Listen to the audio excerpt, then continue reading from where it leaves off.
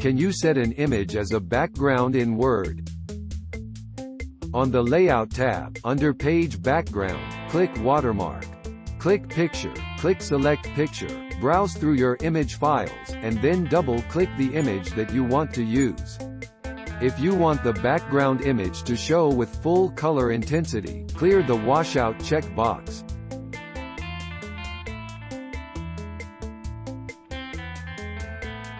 Thanks for watching. Please subscribe.